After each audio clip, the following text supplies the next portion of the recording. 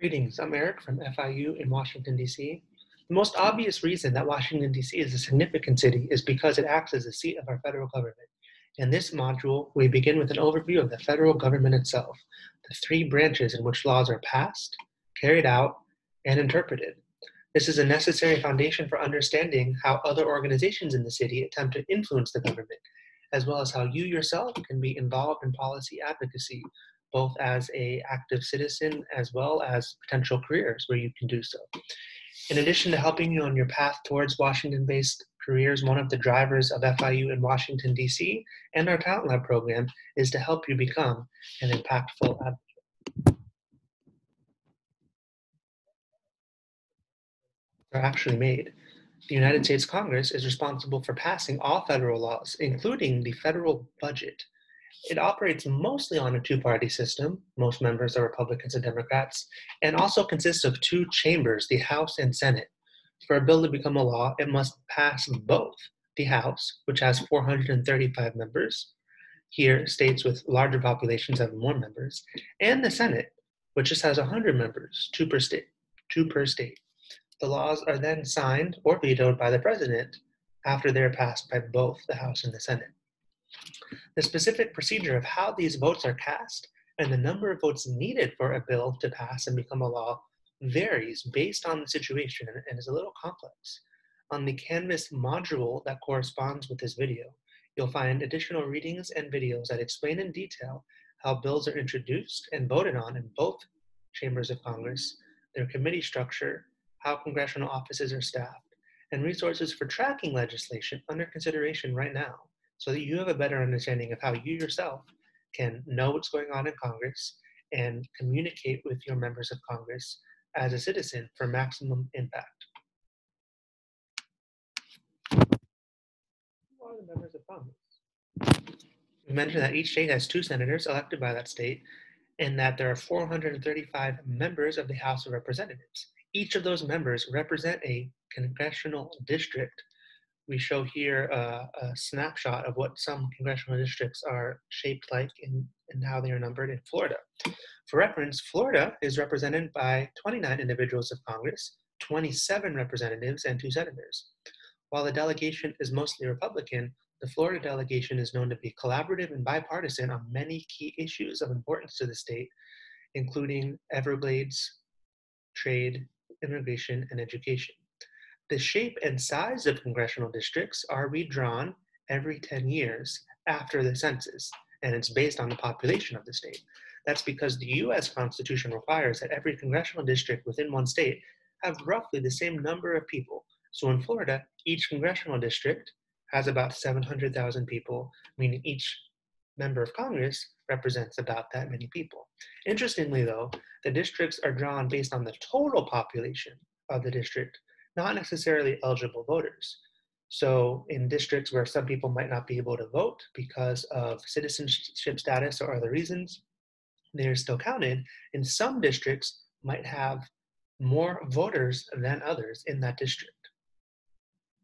For most states, the districts are ultimately approved by elected officials in that state. And more often than not, these elected officials will draw these shapes of these districts so that it will favor the current political party which is in power in that state. This is referred to as gerrymandering. While the Supreme Court has ruled that intentionally drawing districts to reduce the voting power of a population based on race is illegal, the overall design of these districts is subjective in nature. In many states, including Florida, the specific shape of districts is determined by the state legislature. In some states, though, a separate nonpartisan commission is in charge. States have done this to attempt to reduce the biased influence of elected officials in drawing these uh, shapes. Staying informed on how your representative is voting and the overall policy stances they hold, as well as when they are up for reelection, is vital to ensure that you are prepared to determine the best candidate to represent your views in Washington. At the end of the day, we control who our elected officials are, though some factors like the design of congressional districts and other voting regulations, such as voter ID and early, avail- early voting availability, can have an influence. Remember, even if you're not eligible, eligible to vote, you can advocate formally and informally by volunteering on campaigns, having conversations with friends and family from your district, and overall helping people stay educated. The resources on Canvas for this live have a lot more information about members of Congress and how you can be involved. To date, only two FIU alumni have been elected to Congress, but we know many more, even you, are destined to earn the title Member of Congress in the future. So what does Congress actually do? The members of the House and Senate are organized into over 200 committees and subcommittees, which review each piece of legislation that is proposed, which falls under their jurisdiction. It's under their jurisdiction depending on what kind of topic that, that bill uh, deals with. Standing committees are permanent panels that have legislative jurisdiction and an oversight role of specific federal agencies within their jurisdiction. For example, the Armed Services Committee in both chambers, both the House and Senate has an Armed Services Committee, have jurisdiction over the Department of Defense. Sometimes names can be tricky with the Senate Commerce Committee, for example, has oversight of the Departments of Commerce and Transportation, and even scientific agencies like the National Science Foundation fall under the Department of Commerce. Some other examples of committees in the House include the committees on agriculture, education and labor, and small business, for example. Most standing committees recommend funding levels or authorizations for government operations and for new and existing programs. In other words, Congress authorizing funding means that they are approving that amount being spent on those federal agencies and the federal programs in those agencies. On the Senate side, standing committees of jurisdiction have the power to confirm a president's choices for political appointees to lead federal agencies. So you might sometimes hear of Senate confirmations or a Senate confirmed position. Uh, when, they, when the president wants to appoint someone, uh, it is the Senate side of the Congress that gets to approve those. A full list of congressional committees is available in the resources area for this lesson in Canvas. Here are a few additional interesting points about committees. All of the committees are controlled by the majority party of that chamber, but has members from both parties. So for example, when Democrats control the House of Representatives, Democrats also control all of the committees in the House. This is not just informally by the fact that they have more members, it's actually structured this way. Practically, what this means is that each committee in that chamber is chaired or led by a member of that majority party. The other party also plays a role. So the most senior member of the minority party on a particular committee is called the ranking member. Both the chair in the majority party and the ranking member in the minority party have their own separate staffs. Because of that, there are separate internship and job opportunities on those separate majority staffs that report to the chair and minority staffs that report to the ranking member. There are also often separate websites and separate social media channels for the minority and majority staff of a committee. Generally, policy experts make up these staffs of the committees. While it is not uncommon for cable news to cover live committee hearings on topics of great national interest, you've probably seen some uh, con congressional hearings covered on, on news networks. You can watch the hearings on the website of the appropriate committee. All these hearings are, are streamed live and recorded. Our Florida delegation, members of Congress from our state, hold key roles and leadership in committees ranking from education, labor, intelligence, military construction, veteran affairs, small business, and foreign affairs. It should be noted that as, a, as, as FIU, as a major research university and one of the largest universities in the country, works closely with these members of Congress so that they may promote issues and legislation that fall within their jurisdiction and are also topics that FIU has uh, some expertise in. In other words, you should know that your state of Florida you're one of our many students that lives in the state, and your university, FIU, play a role in these national issues at the congressional level. In addition to committees, which are a more formal uh, grouping of members of Congress, members of Congress also often join and are members of many caucuses. Caucus are, caucuses are more informal alliances members of Congress based on any factor, including region or identity, for example, the Congressional Black Caucus, or on specific topical interests, such as the Congressional Caucus on Foster Youth. By forming these alliances, members of Congress can be more effective in their advocacy and votes towards a specific piece of legislation and issue.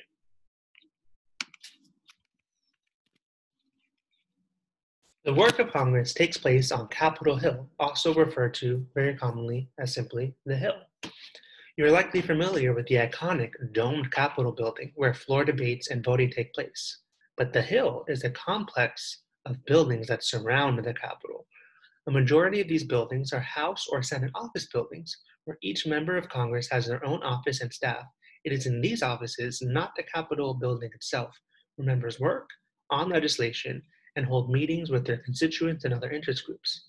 There are also several buildings of the Library of Congress. The titles and job descriptions of the staff of each congressional office is relatively consistent. Understanding these roles is helpful to picture the type of work that goes on in each office and the types of career opportunities available for you there. Each office is led by a chief of staff. Some of the other critical roles in a congressional office include legislative director, legislative assistants, press secretary, staff assistants, and a scheduler. The issues that each member of Congress has to be informed on vary from office to office. It is always good to be aware of what staff member is the lead on activities relating to the issue you are concerned about. A quick phone call to the office can get you that answer. Each member also maintains a district office in their home state where the staff is mostly focused on constituent casework or when residents from that district call and ask for help with some sort of federal issue less related to policy, such as questions about Medicare, Social Security, etc. More information on what each staff person in a congressional office does is available in the Canvas resources for this course. On average, a House member, member of Congress in the House, will have uh, teams of about 15 to 20 staff members split between Washington and their district offices back home.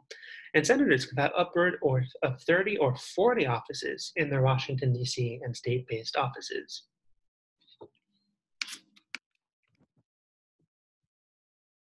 Discussion of uh, congressional staff would be incomplete without mention of the outsized role that congressional interns play in a member's office. During any academic semester, an office could have between three and 10 congressional interns, taking calls from constituents, preparing press briefings, and doing policy research. Thankfully, many congressional offices now offer a stipend to their interns. At any one time, over 50 FIU alumni in total work for Congress, even holding the top staff spot of Chief of Staff. And so can you one day, just as our Panthers on this slide have done.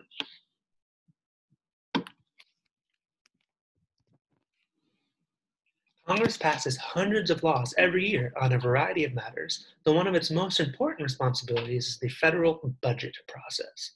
The annual budget of the federal government begins with the executive branch of government, those are the federal agencies, that have their requests for their budget for that year. The president submits his or her own budget request, which takes into consideration the requests of those individual agencies and submits it to Congress although much time and energy are placed in analyzing this request and congressional hearings take place to understand the administration's priorities, that's the priorities of the president, the proposal from the president and the executive branch is just a suggestion. It is Congress that has the ultimate authority on how much money the federal government can spend each year and on what. For this reason, it is said that Congress has the power of the purse that determination is always made not in one master budget bill, but in 12 distinct budget bills, each that attains to a particular subcommittee of the Appropriations Committee. Let's talk about that one more time. The federal budget of our country every year is determined annually through 12 separate bills. Each of those separate bills are reviewed by a subgroup of the Appropriations Committee, which is the committee responsible for the budget process. This budget process is complicated. We don't get you, we expect you to get it after this one slide. I don't fully understand it myself without going back and, and reviewing some details uh, when I need to engage with it or talk about it. Yet it is important to know how tax dollars are spent and how it is decided what government programs will operate that year with what amount of money. Our Canvas resources provide much further reading on this subject.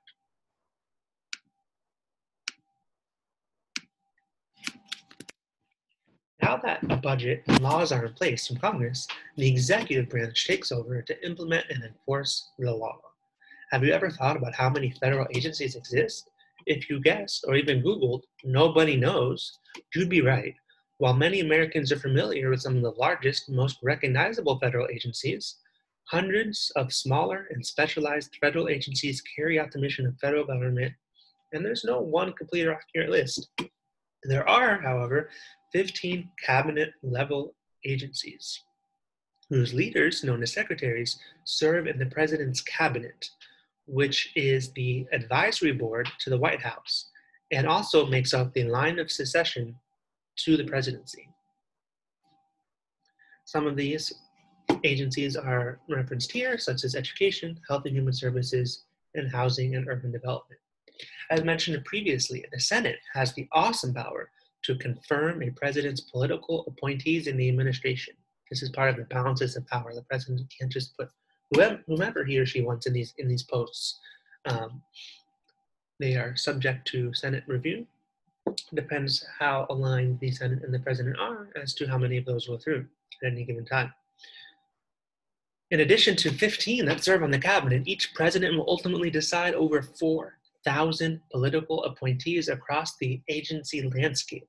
That alone keeps those committees of jurisdiction quite busy in reviewing and approving those nominees. Federal agencies play an important role in the policymaking process.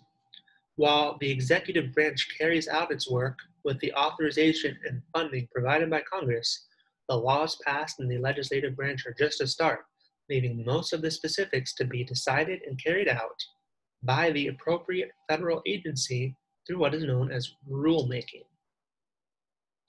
Federal agencies create or promulgate, to use the fancy term, federal regulations, also known as rules, that are more specific and enforceable. So let's break this down. Congress passes laws that are pretty broad. If the law is about education, it might then go to the Department of Education. If it's about health, it might go to the Department of Health and Human Services. Those agencies are the ones who actually develop the regulations or rules that will be enacted. So when you hear about we need more regulation or less, less regulation, it's the agencies doing that, but they have to follow the guidelines of the laws passed by Congress. They cannot craft the regulations that in a way that goes against the law that Congress passed. According to the Congressional Research Service, which is part of Congress, Delegating authority to agencies can enable Congress itself to focus on bigger picture issues rather than spending its time and resources debating all the technical details required to fully implement a complex public policy. However, the relationship between Congress and federal agencies can be a delicate one. Congress will always claim that agency officials are not directly accountable to the people. That's because they're not elected. Congress faces the possibility that agencies will issue rules in a manner that Congress views as inconsistent with their congressional intent. That's where the courts come in. We'll discuss that in a second. Agencies must follow certain rules of their own when developing regulations. They can't just do whatever they want. In addition to following the intent of Congress to the best of their ability, they have to follow the Administrative Procedures Act, uh, which requires certain things, such as opening proposed rules for public comment. The policies of federal agencies can be challenged in Congress. Congress, if they don't agree with what an agency is doing, can pass new laws or defund programs. Or the issue can go to review in the courts, which can rule that an agency overstepped its authority given to it by Congress, or that the law itself that Congress passed was unconstitutional in the first place. Besides the cabinet level agencies, other executive agencies, known as independent agencies, varying in size and purpose, and the list of these agencies changes over time. Listed here are three lesser known federal agencies the Corporation for National Community Service, which administers volunteer programs such as AmeriCorps, the Export Import Bank of the United States, which promotes exporting goods from American companies, and in fact, uh, FIU alumna currently works for what is possibly the smallest federal agency, the three employee Japan US Friendship Commission.